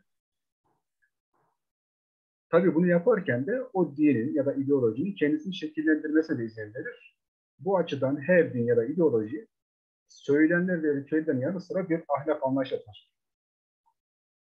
İslam e, söz konusu olduğu zaman e, İslam insanları Allah katında eşit kılacağını vaat ederken bunun sadece söylemlerle gerçekleşmeyeceğini, toplumun dönüşümü için bireylerin bu dönüşümü hak eden kimseler olması emredir. E, klasik bir şekilde tarif edilir. İşte Mekke'de 13 yıl boyunca e, tevhidin işlendiği. Oysa ki baktığımız zaman Mekke'de sadece tevhid değil, başından itibaren ahlak da aynı şekilde geçerlidir. Birçok ayette yer almıştır. Bu anlamda İslam'ın hatta e, ahlaka verdiği önem itibariyle baktığımız zaman dünya yayılmasındaki en büyük etken belki cihattan daha ziyade Müslümanların taşıdığı ahlaktır. Müslümanlar bu ahlaka da sadece Kur'an ve Hazreti Peygamber'in örnekliğiyle ulaşabilirler. E, Mekke suresinde nazil olan e, sen elbette yüce bir ahlak üzeresin şeklinde geçen Kalem suresi 4. ayet. Bu Mekke döneminde ve Medine döneminde andolsun ki Resulullah için işte Allah'a ve ahiret gününe kavuşmayı umanlar ve Allah'a zikredenler için güzel bir örnek vardır ayetleri. Mekke ve Medine'de ahlakın hiçbir zaman ihmal edilmediğini, vahyin son bulduğu ana kadar Müslümanlara sürekli bir ahlak vurgusunun yapıldığını gösterir. Ee, Kur'an kıssaları e, ahlak ilişkisi. Kur'an kıssalarına baktığımız zaman e, Kur'an'ın yaklaşık dörtte birini teşkil ediyor. Mekki surelerdeki Kur'an kıssaları e, Medeni surelerin e, den daha fazla. Medeni surelerdeki kıssalar daha az yer alıyor. Çünkü toplum yerleşmiş durumda. Yeni kanunlara, hükümlere, yasaklara, emirlere muhatap. E, dolayısıyla e, Müslümanlar sadece Mekke'de tevhid değil, aynı zamanda Medine'de oluşturabilecekleri huzurlu bir toplumun nüvelerini, ilk adımlarını Mekke'deki belki de diyebiliriz ki e, kıssalarda ve o kıssalarda yoğun olarak geçen ahlaki ilkelerle oluşturuluyor. Medine dönemi daha sonrasında e, Mekke'de yaşanmış olan ya da Mekke'de e, dikte ettirilmiş olan o ahlak anlayışı Medine'de sergileniyor. Kıssaların amacıyla e, Kur'an'a baktığımız zaman her ikisinin amaçlarında bir e, paralellik görülür. Kur'an insanlar dünyada ve huzurlu, mutlu olmasını, ahirette de cenneti ve Allah'ın rızasını kazanmasını hedeflerini taşır. Kıssalar da bu minval üzeredir. Yani kıssalara baktığımız zaman e, sanatsal ya da bir tarih bilgisi vermekten ziyade Kur'an-ı Kerim'in diğer ayetlerinde vurgulanmış olduğu ilkeleri insanların gözlerinde canlandırabilmeleri için kıssalar yoluyla o ahlak verilir. Bu anlamda hani bir Hucurat suresi vardı belki ahlakın yoğun olarak işlenmiş olduğu bir sure olarak da e, burada e, Kur'an'daki diğer kıssalara baktığımız zaman hepsinde belki satır aralarında e, çok öne çıkarılmamış bu zamana kadar belki üzerine daha az yoğunlaşılmış ahlak ögeleri var. Kıssalar e, tefsir e, müfessirler nezdinde genellikle baktığımız zaman kesiden itibaren olsun, özellikle e, işte peygamberler hayatını Kur'an kıssalarından çıkartmak. Ya da Kur'an kıssalarında işte e, farklı bir yaklaşım söz konusu olmuş. Fakat burada Kur'an kıssalarından bir ahlak, e, literatürü çıkarılabilir mi? Cömertlik, kerem, vefakarlık, arkadaş arkadaşlık, dostluk e, ya da doğruluk gibi kavramlar doğrudan Kur'an-ı Kerim'in kıssalarından çıkartılabilir ve bu husus biraz daha e, belki büyük bir iddia vardır ama biraz ihmal edilmiş. Kur'an kıssalarını biraz daha böyle sadece peygamberin Hazreti Alim'den itibaren işte peygamberin de son bulan eserlerin zaten yazılmış olan eserlerde bu yoğunluğu açık olarak gösteriyor. Kur'an kıssalarında e, en büyük yeri peygamber kıssaları. Bunun nedeni e, insanların sadece teorik anlamda kendilerine hitap eden ahlaki ilkelere değil, kıyamete kadar bir rol, modele ihtiyaç duymaz. Peygamber kıssaları anlatılırken kendilerine üsve-i hasene en güzel örnek olarak onların gösterilmesi, onların yaşamış olduğu olaylar, e, hayatlarından çeşitli sahneler, e, doğrudan teorik olarak verilen bilgilerin aynı zamanda pratik olarak peygamber hayatlarına nasıl yansıdığını bu açıdan göstermiş olur. Bu da insan yapısı gereği insan üzerinde daha etkili bir metot oluşturmuş oluyor.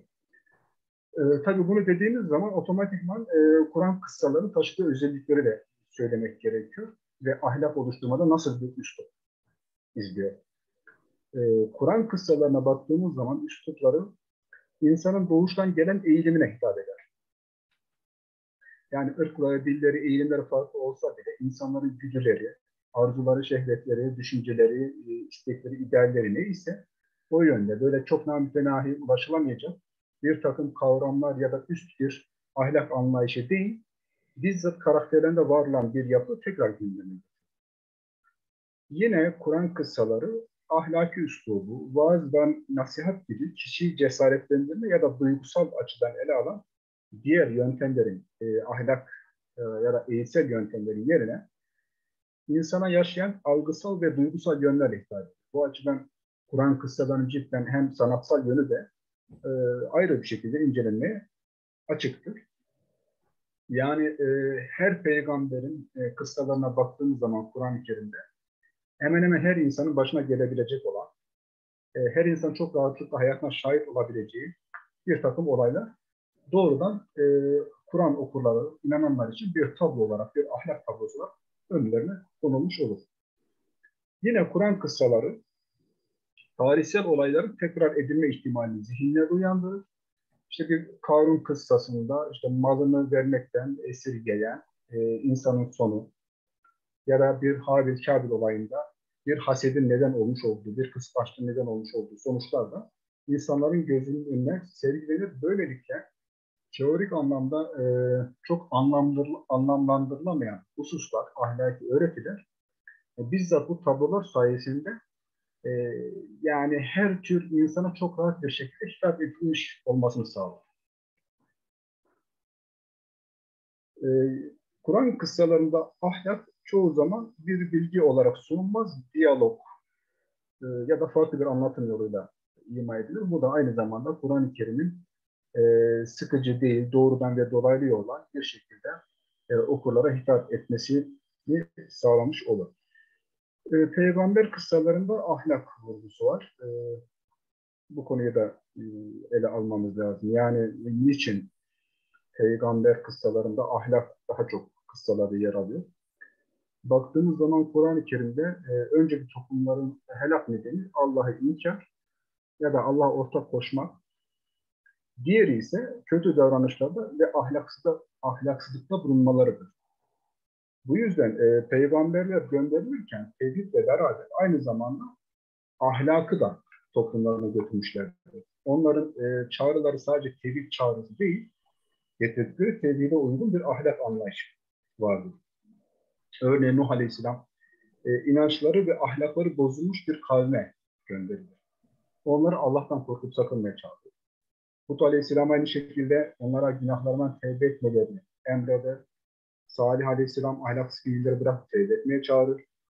Şuayb Aleyhisselam e, farklı bir örnektir. Özellikle ticari konularda e, toplumuna adaleti sağlamalarını, ölçülü ve tartıda bile yapmamalarını vurgular. Lut Aleyhisselam kavmi içinde bulunduğu durum ahlaksızlıktır. Bunu ısrarlı bir şekilde tevhid vurgusuyla beraber e, topluma aktarır. Bu açıdan baktığımız zaman e, peygamberlerin getirdiğini sadece tevhid değil, tevhide uygun bir ahlak anlayışını ortaya koyduklarını görürüz. Ee, yine e, kıssalara baktığımız zaman kıssaların e, Müslümanlara e, Müslüman bir insana yakın oluşu itibarıyla e, peygamberlerin masumiyetinin çok vurgulanmadığı, e, sıradan bir insanmış gibi onlardan da öğüt alınabileceği hususlar vurgulanır. Yani evlenip çocuk çocuk sahibi olabiliyorlar, hastalanabiliyorlar, geçimleri için çalışılıyor. E, bunlar için böyle e, melek vari bir insan ortaya konuluyor. Davut Aleyhisselam'ın demirci olduğu, Musa Aleyhisselam'ın çoban olduğu ya da Musa Aleyhisselam'ın unutkanlığından dolayı e, işte Salih kulla birlikte olmayı bir an için unuttuğu e, ya da çok mesela öfkeli e, bir karaktere sahip olduğunu e, Musa Aleyhisselam özellikle çok görüyoruz. Yani e, işte kavminin başına Harun'u bıraktığı zaman e, Samir'in kavmini e, kandırması, onlara dalayete sürüklemesi karşısında elindeki levhaları yere atmış olması e, ya da e, dövüşen iki kişi arasına girmek girmeye kalktığı zaman öfkeyle işte birisine vurması. E, bütün bu olaylar Musa Aleyhisselam'ın hem örnek bir peygamber ama aynı zamanda insani yönler taşıdığını da gösterir ki bu da e, Kur'an'ı okuyan kimselerin peygamberleri peygamberlere ulaşamayacakları bir seviyede olmadığını, peygamberlerin de kendileri gibi doğal bir insan olduğunu fakat Allah'ın e, lütfu ve ihsanı sayesinde bu peygamberlikle görevlendirildiklerini anlamış olurlar. Yine baktığımız zaman e, Lut Aleyhisselam işte e, Lut Aleyhisselam'ın kavmi daha doğrusu melekler helak etmek için geldiklerinde İbrahim Aleyhisselam meleklerin yemeğe el uzatmamasını endişeyle karşılar. E, bütün bu e, durumlara baktığımız zaman peygamberlerin de birer insan olduğu kıssalar yoluyla Müslümanlara aktarılmış olur. Bu da e, Allah'ın istemiş olduğu sahip olmamız gereken en üstün ahlak konusunda bize yardımcı olur. Ee, tabii kıssalarda e, kimi zaman baktığımız zaman e, çok kısa belki satır arasında kalmış olan ifadeler vardı. Bu ifadelerden e, asıl belki dediğimizin e, ana unsuru bu. Kur'an-ı Kerim'in kıssalarından doğrudan e, yeni bir ahlak ya da değerler eğitimi üretilebilir mi? Örnek olarak mesela Kur'an-ı Kerim'de Hazreti İbrahim halim sıfatıyla geçer. Fakat Hazreti İbrahim'e niçin halim sıfatı verildiğini e, belki Kur'an'ın tamamını okuduğumuzda anlayabiliyoruz. Örnek olarak işte baktığımız zaman e, Hazreti İbrahim'in babası e, Azeri e, onu tevhide davet etmesine rağmen onun çok sert karşı çıkışlarına rağmen ısrarlı bir şekilde İbrahim Aleyhisselam e, babacığım e, şeklinde hitap eder. Bu İbrahim Aleyhisselam'ın nasıl halin bir sıfata sahip olduğunu göstermiş. Ee, yani bir kafir dahi olsa evladın babaya karşı takılması gereken tavır burada ortaya çıkmış olur. Ee, Kur'an kıssalarında ahlak eğitimi e, yöntem olaraktan e, nasıl bir yol izliyor? Kısaca da ondan bahsedeyim. E, ahlak eğitiminde Kur'an'ın üstlendiği görevlerden e, öne çıkanlar şu bir mesela iyiliği hatırlatma var. Burada baktığımız zaman işte Hz. Musa ile Firavun mücadelesi, e, Adem İblis e, ya da Habil Kabil olaylarında bir taraf iyi bir taraf kötü iken e, bu insanlara hatırlatılmış ve aynı benzer olayların tarih boyunca sürebileceği yani ilk ve kötü taraf bir şekilde insanların beynine resmedilmiş oluyor. İkincisi e, eğitim yolu e, bu üslubu izler. Sadece ahlaki öğretiyi vermez. Bir de bunun nasıl olması gerektiği. Örneğin Şuayb Aleyhisselam'ın, pardon Musa Aleyhisselam'ın e, topraklarını terk ettiği zaman Şuayb Aleyhisselam'ın memleketine giderken karşılaşmış olduğu bir suyun başında bekleyen Şuayb Aleyhisselam'ın kızlarıyla karşılaştığı anda e, doğrudan onlara yardım etmeye kalkışması, e, onlara bunun nedenini bile sormaması, e, sonra e, işte Şuayb Aleyhisselam'ın e, isteklerini yerine getiriyor olması e, ya da Habil Kabil kısasında kötülük yapanın nasıl cezalandırılacağı konuları baktığımız zaman Kur'an-ı Kerim'deki kıssaların eğitim yönünü ortaya koyuyor. Terbiye e, hususu var.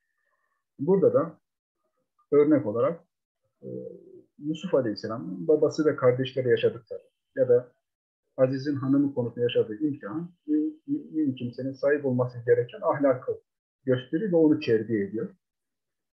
E, dördüncü bir husus, teşvik ve korkutma. Tergib ve terhip var. E, burada e, Razi mesela şöyle diyor, dine işaret eden, hakka götüren ve kurtuluşu talep etmeye emreden hususların içine alan sözlerin toplamı kıssadır.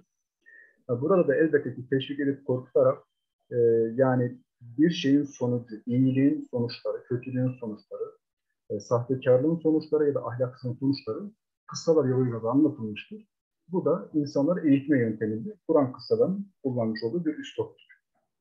Yine örnek gösterme e, vardır. E, bütün ahlaki e, değerler ortaya konurken e, salt yalın bir şekilde örneğin sabırlı olun değil, bir Eyyub'un sabrı gösterilir.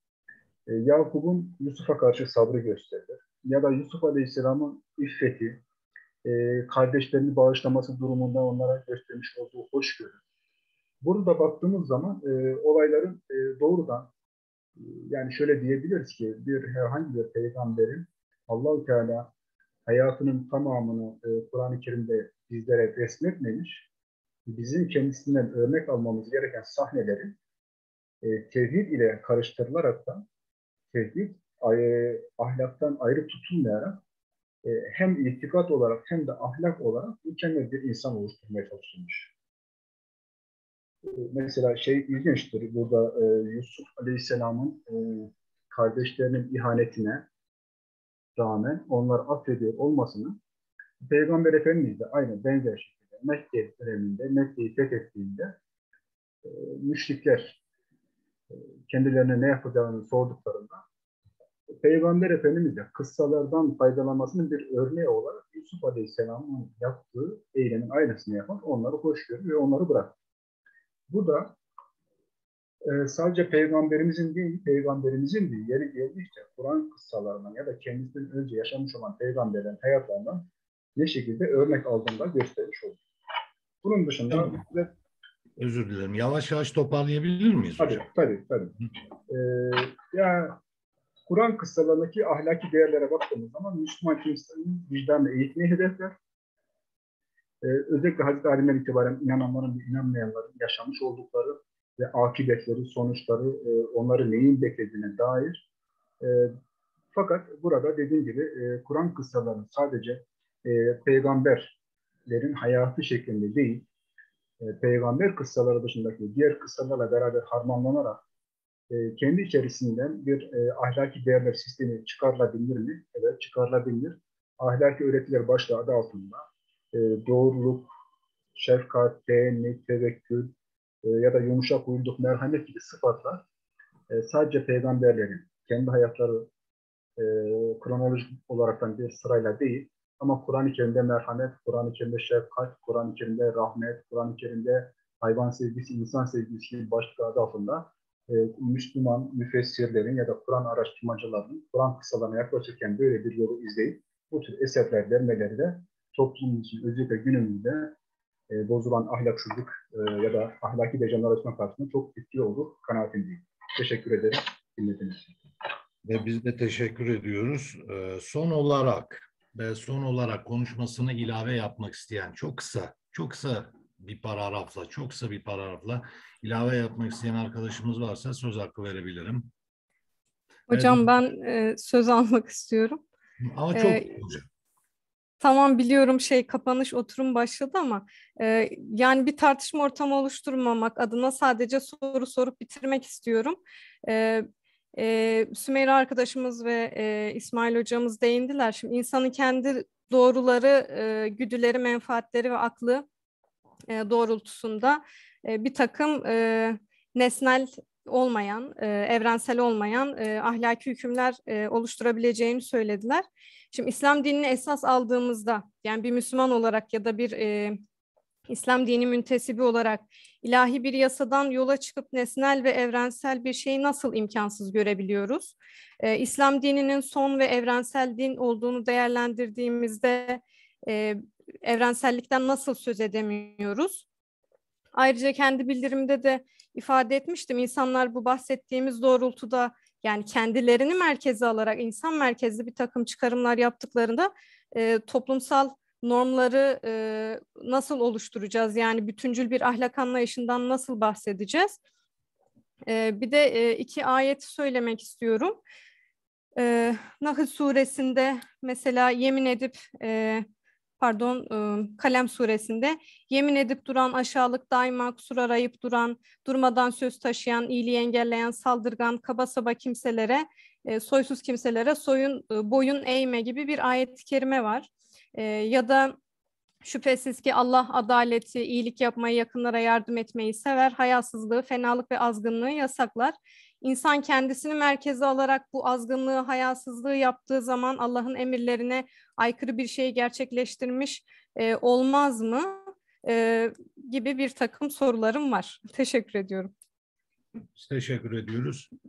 İsmail Hocam siz mi, Hava Hanım mı? Çok e, teşekkür ederim. Ben ben cevaplandırmak istiyorum eğer mümkünse. Tabii buyurun hocam. Şimdi nesnel e, yargılar ya da e, ne diyelim e, bir takım ahlaki ilkeler çıkarılamaz anlamına gelmez bizim tebliğimizdeki iddia.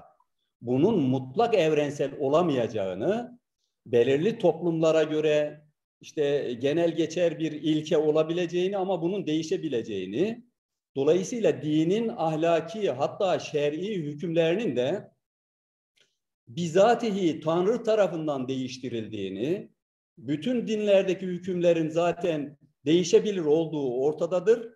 İki, bu bizim Müslümanlığımızı kaldırmadığı gibi her an İslam'ı yaşama şansı yaratır insanlık tarihinde. Dolayısıyla şu anda Kur'an bitti. Biz hala yani vahiy bitti affedersiniz.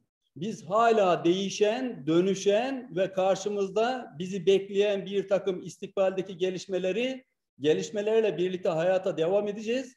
Nesnellik demek, bakın bilimde bile böyle bir nesnellik söz konusu değildir. Bu ancak Tanrı'nın varlığıyla tanrısal bir dünyada geçerli olabilir. Maddeyle, insanla, tarihle buluşan hiçbir şeyin mutlak bir değer ifade etmediğini e, söylüyorum. Dolayısıyla şimdi sosyal değerler ve normlardan bahsettik. Sosyalite olmadan sosyal normlar olamaz. Dolayısıyla biz sosyal normları diğer insanlarla birlikte e, oluştururuz. Nitekim Platon'un mutlak idealizmini Aristoteles bundan dolayı topluma gömdü. Yoksa bireysel insanların afaki, e, efendim e, kendine göreceli ilkeler edinsin ya da istediğini hayvani bir yaşam olarak kursun anlamına gelmez bunlar. İlkelerin de insanlar gibi medeniyetler, kültürlere bağlı olarak ömrü vardır. Bu onu ilke olmaktan çıkarmadığı gibi insanları ahlaki bir varlık olmaktan ya da Tanrı'ya inanan mümin kullar olmaktan da çıkarmaz. Referansını Tanrı'nın kendisi olarak gösteriyorum. Birçok dini değiştirmiştir Tanrı, sadece kendini değiştirmemiştir. İlkeler ve emirler de değişmiştir. Tek tek şeriatlara bakarsanız eğer bizim hem şer'i hem ahlaki ilke olarak kabul etmiş olduğumuz birçok şey aile hukukundan tutun sosyal hukuka, sosyal hukuktan siyasete hemen hemen dinlerin bütün ilkeleri değişmiştir ve hala bakın bu dini emir ve nehileri evrensel görmemizden dolayı kölelik üzerine konuşamayan bir İslam dünyasının sükutu hala bizi mahcup etmektedir. Bunlardan e, benim cevabım bunlar kısaca ama tatmin etmediyse daha devam edebilirim. E, çok yani teşekkür kısaca, ediyorum. Estağfurullah. Kısaca şöyle mi diyoruz hocam? Zamana göre ahkam değişir. Ahkamın değişmesinde antropolojik açıdan baktığımızda kültür önemlidir. Ama kültürün bu önemi üst kavram olarak mesela insan öldürmemek kavramının içeriğini doldurur. Mesela kültüre göre şehitlik kavramı vardır. İşte ne kadar çok öldürürseniz o kadar kahraman olursunuz. Savaş gibi bir sürecin içinde.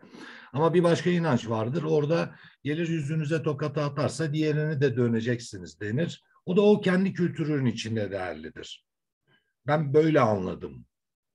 Şöyle yani İsa, Musa ve Hazreti Peygamber arasında birçok şey söylenebilir e, bu hususta. E, ancak bakınız e, Aristotelesçi mantık anlayışıyla bakarsanız Tanrı'nın emirleri de boş bir formdur. Form. Onun içini insani tecrübe ve eylemler olmadan doldurmak mümkün değildir. İnsani tecrübelerle doldurulan genel hükümler de mutlak değişmeye tabidir. Mutlak değişmeye tabidir. Yoksa Tanrı'nın o genel ilkesi beni görmeden, benim tecrübelerime, sosyaliteme, şartlarıma, bağlanma, ulaşmadan hiçbir anlam ifade etmez. Bakın çok küçük bir örnek vereceğim. Nun vel galemi ve me yesturun derken Tanrı e, yazının icadını beklemek zorundadır.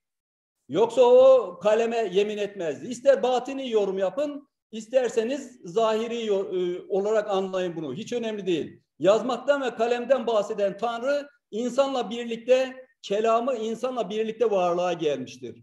İnsan olmadan ilahi kelamı da tartışmak mümkün değildir. Hatta Tanrı'nın bizatihi kendisini de tartışmak mümkün değildir. Nitekim biz teçsim ve tesbihi de bu doğrultuda anlıyoruz.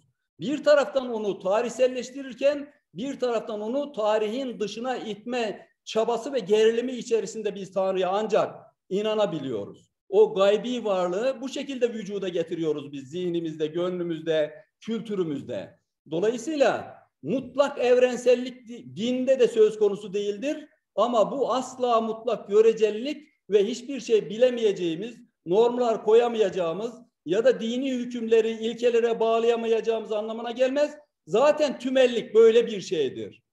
İslam dünyasındaki tümelliği anlamak mümkün değildir. E, Tanrı'nın emri bile böyle bir tümel değilken bizim hayatımızda elde etmiş olduğumuz, bakın ben size daha öte şey söylüyorum. Bugün geometri bile bizim anladığımız anlamda böyle bir e, akli olmasına rağmen görecellikten kurtulamadı bugün e, geometri teorileri. Yeni yeni geometri teorileri var.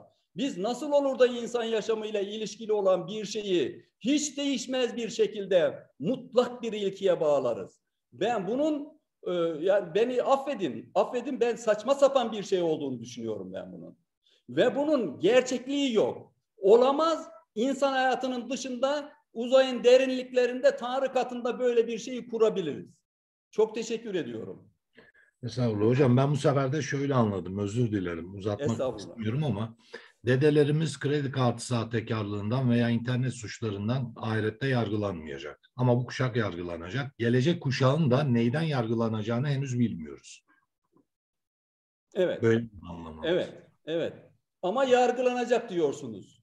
Onu kim ve ne tayin edecek diyorsunuz değil mi? E, kıyamet işte hesap günü. İşte bu. Hı. Bu Aristoteles'in Suri mantığı bilim için ne ifade etmiyorsa Tanrı'nın emri de benim için onu ifade etmiyor anlamına gelir. Hı hı.